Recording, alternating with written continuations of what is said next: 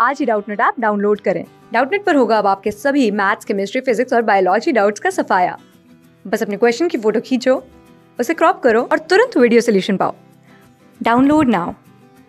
यहाँ पर क्वेश्चन में हमसे कह रहे हैं कि मॉर्गन ने येलो बॉडी और वाइट आई वाली फीमेल्स के साथ ब्राउन बॉडी और रेड आई वाले मेल्स को जब क्रॉस किया तो वो इनके F1 प्रोजनी को आपस में क्रॉस करने पे, जो इन्हें ऑब्जर्वेशंस देखने को मिले उनमें से यहाँ पर चार जो हमें स्टेटमेंट्स दे रखे हैं, उनके अकॉर्डिंग कौन से कौन से सही हैं।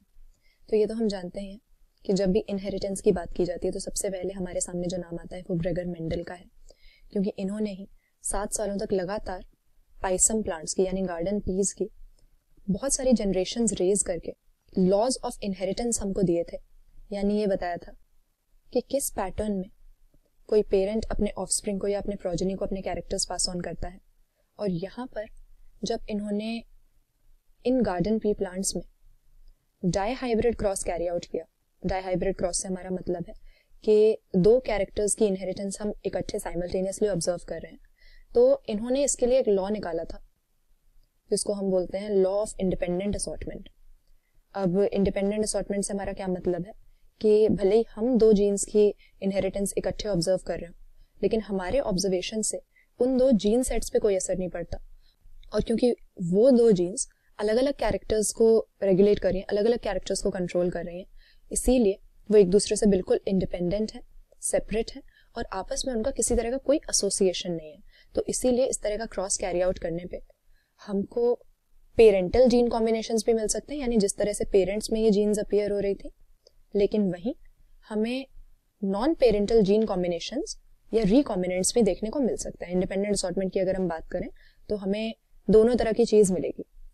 और मेंडल ने जो डाईहाइब्रिड क्रॉस कैरी आउट किया था, अपने पाइसम प्लांट्स पे, वहाँ पर F2 जनरेशन का जो रेशियो इनको मिला था, यानी F1 प्रोजेनी को आपस में सेल्फ करने पे जो F2 जनरेशन बनी थी, उसमें चार तरह के फिनोटाइप्स थे, जबकि पेरेंट्स में केवल दो ही तरह के फिनोटाइप होंगे। दो ही तो पेरेंट्स हमने लिए थे, लेकिन प्रोजेनी में चार डिफरेंट फिनोटाइप्स मिले, वो भी nine is to three is to three is to one के।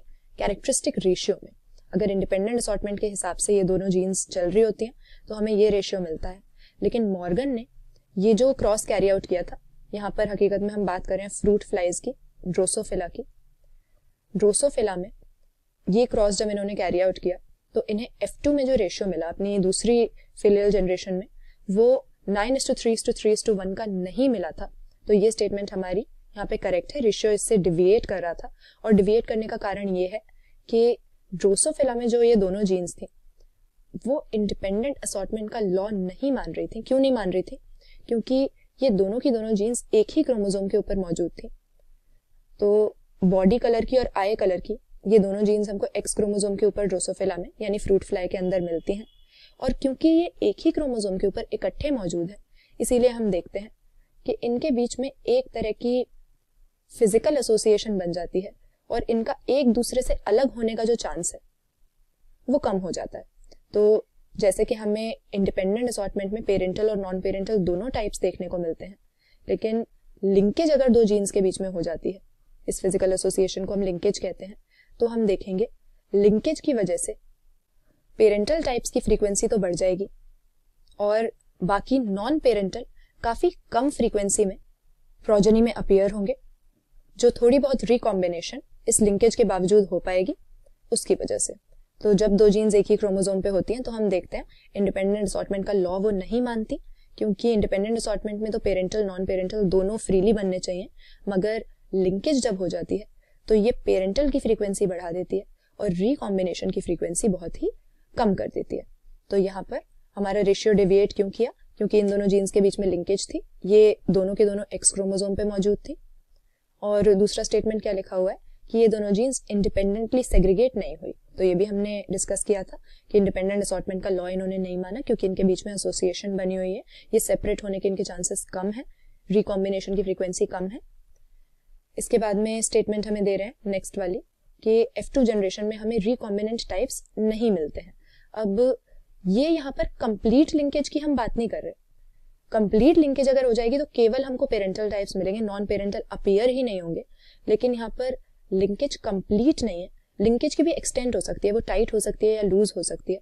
तो ये जो इन्होंने क्रॉस कैरी आउट किया था, इसमें इन्होंने केवल ये देखा कि रेशियो इससे अलग था।